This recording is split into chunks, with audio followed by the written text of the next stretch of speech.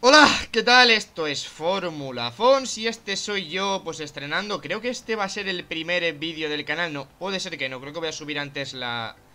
El tercer capítulo de Alger Suárez. Sí, yo lo voy a subir antes. Bueno, pero este vídeo se estará subiendo el viernes, ¿vale? Eh, bienvenidos a Fórmula Fons. En este vídeo sí que puedo aprovechar para dar las gracias, tipo famoso de los Oscar A todos los que os habéis suscrito al canal ya. O sea, en dos días, esto lo estoy grabando el... Hostia, ¿qué día soy? Miércoles 22 de marzo Y ya sois 600, casi 700 suscriptores O sea, en serio, sois la polla De verdad No, no entiendo por qué os habéis suscrito ya Bueno, entiendo por qué, porque os lo pedí, ¿no? Pero que, coño, me ha hecho mucha ilusión ver que Ver que os habéis suscrito, ¿no? Ahí sin...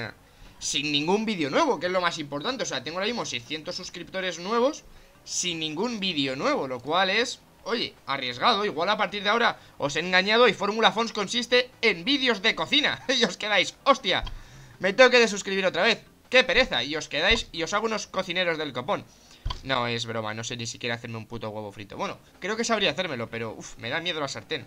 Eso salta las chispas, es súper peligroso O sea, en serio, debería estar prohibido Y que todo se hiciera pues con magia O como lo hiciera mi mamá. En fin, vamos a hablar hoy de la temporada de Fórmula 1 2017 Que ya empieza este fin de semana. Tenemos el Gran Premio de Australia, por fin. Este Gran Premio de Australia es lo más deseado del año, más deseado incluso que fotos de Sofía Vergara desnuda. Bueno, quizá aquí me he pasado un poco Y en el cual pues voy a hacer antes de cada gran premio una especie de porra De cómo creo que va a ser el podio, ¿vale? Pero bueno, eso lo vamos a dejar para el final del vídeo Ahora solo vamos a hablar hablar tranquilamente de, de, lo que creemos que será el... Creemos, ¿no? Que coño, soy yo solo Es que claro, tengo el canal que se llama Fórmula Fons como si fuera un ente externo a mí, pero realmente soy yo. Así que me da un poco, creo que queda muy repelente hablar en plan, estamos nosotros, no es súper repelente. Bien, eh, habéis visto el título del vídeo, ¿no? Y he puesto ahí en letras muy gordas, imagino. El que para mí será el gran tapado de este año 2017. El gran tapado para ganar el mundial, evidentemente, porque el gran tapado para no ganarlo eh, no hay. Todos sabemos que va a ser los McLaren, ¿vale? O sea... Los grandes tapados para no ganar el Mundial es McLaren. Eso creo que lo tenemos todo claro, por desgracia. Pero en fin, de McLaren hablaremos en otro vídeo porque... Nadie ha hablado tampoco de McLaren del rendimiento. ¿Os habéis fijado que el rendimiento está dejando bastante que desear por, por parte de McLaren? Habría que... Alguien tendría que hacer un vídeo sobre eso. Hmm. No, en serio, eh, vamos a hablar ya de lo que venía a decir.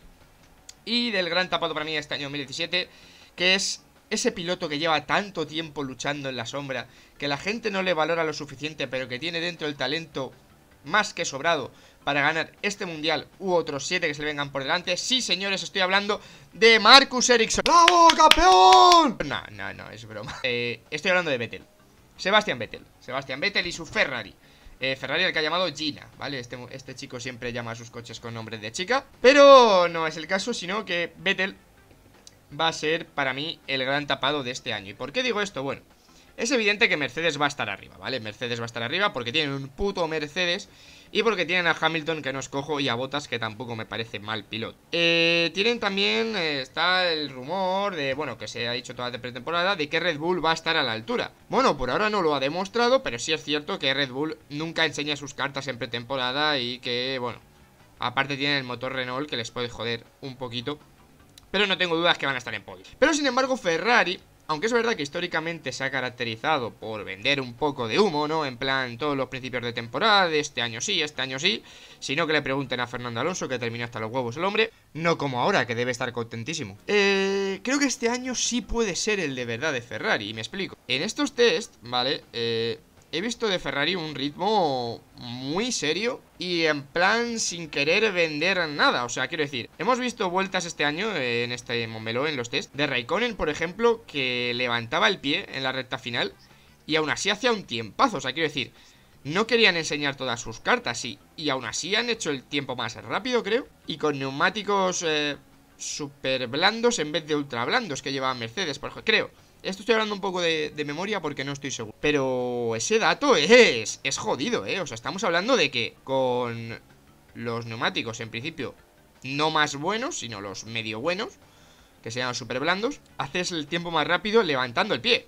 Frente a un Mercedes con ultra blando. Bien, estamos a... O sea, falta eh, hasta la carrera, ¿vale? Hasta la carrera este domingo. No vamos a poder sacar ninguna conclusión, o hasta la clasificación del sábado, si queréis. Pero... Coño, algo significa. Y creo que... Creo que Ferrari este año puede dar... Puede dar mucha guerra. También tengo una teoría absurda que he elaborado antes en la ducha. Estaba duchando, que este mes ya tocaba.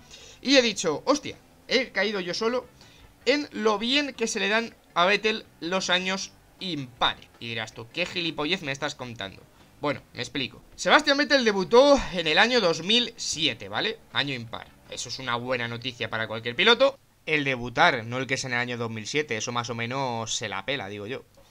En el año 2009, con un Red Bull que estaba, empezó la temporada muy lejos de Brown y luego se fue acercando en rendimiento, estuvo a punto de competirle el Mundial a Jenson Button, pero no llegó, porque Button se proclamó campeón dos carreras antes, si no me equivoco. En el año 2011, otro año impar, estamos yendo seguidos, ¿eh? 2007, 2009, 2011, ganó el Mundial sobradísimo. En el año 2013 lo volvió a ganar sobradísimo. Y en el año 2015 hizo con el Ferrari, que estaba muy lejos del rendimiento de Mercedes, tres victorias. De un Ferrari que venía de la puta mierda de 2014. O sea, ¿qué significa esta teoría? Absolutamente nada. Será un cúmulo de casualidades de la hostia. Pero sí es cierto que los años pares, por ejemplo 2016, este último año, ha sido muy malo. Bueno, muy malo no. Pero ha sido malo, ha estado casi igualado a puntos con Raikkonen cuando nadie esperaba eso. Y pues no ha sido un año muy... para estar muy orgulloso en Ferrari.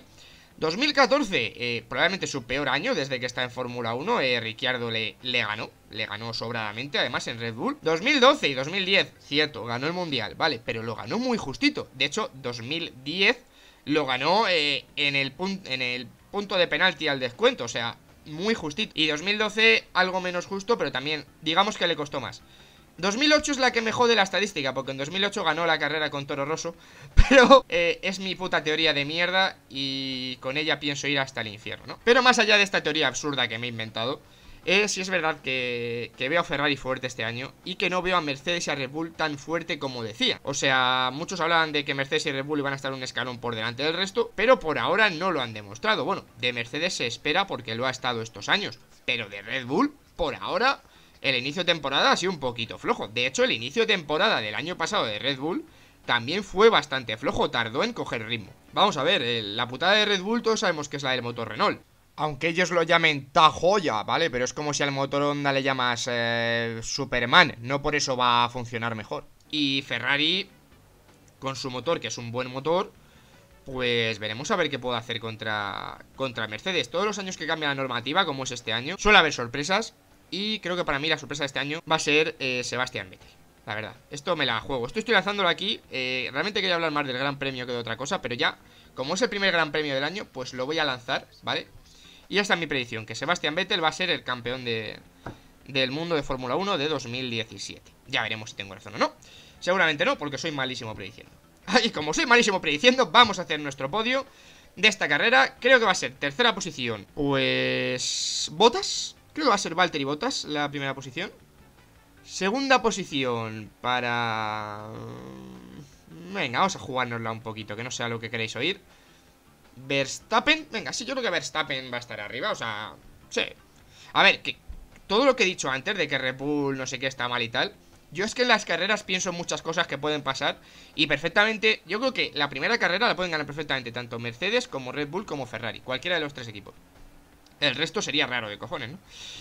Y creo que va a ganar la carrera, pues... Uh, creo que Hamilton. Creo que Hamilton. Sí, yo creo que Hamilton va a empezar fuerte el año. Porque el año pasado se le escapó el, el Mundial y, y, este año no creo que no creo que quiera volver a perderlo.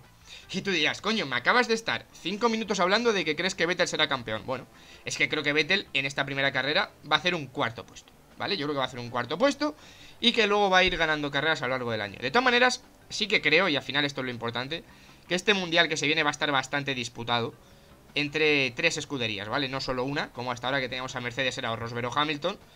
Creo que este año sí van a estar Red Bull y Ferrari a la altura y esa es la mejor noticia que podemos recibir los aficionados a esta competición. Porque, a ver, a todos nos gusta mucho la Fórmula 1, pero hombre, un poquito hasta la polla de ver que eran los dos coches plateados los únicos que competían, pues sí que estábamos. Vamos a ver. Todos disfrutamos mucho en Montmeló cuando se dieron la hostia y compitieron el resto en igualdad de condiciones. Así que nada. eh, bueno, este va a ser el vídeo, yo creo que ya lo voy a ir cortando, ¿no?